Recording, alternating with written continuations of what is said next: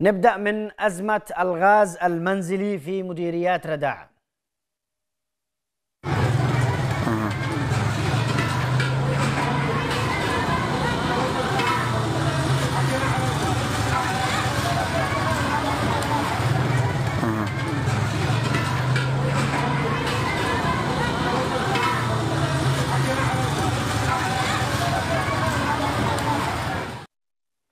معاناة كبيرة تعانيها الأسر ويعاني منها آه، كل السكان في مديريات رداع آه، نتيجة انعدام الغاز المنزلي وبحسب الشكوى أنه الوكيل لم يحصل على الكمية المطلوبة المقررة.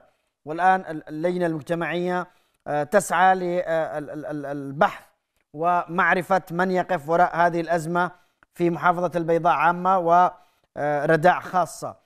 نتمنى أن يكون هناك تجاوب سريع من قبل الجهات الرسمية في هذا الأمر حتى نخفف المعاناة من أهالينا في رداع آه، نتيجة آه، أزمة الغاز المنزلي. وأنا بدأت أشم ريحة أنه الأزمة بدأت تعود لأغلب المحافظات والمديريات والمناطق اليمنية. وإن شاء الله أنه آه، نتجاوزها بشكل سريع جدا.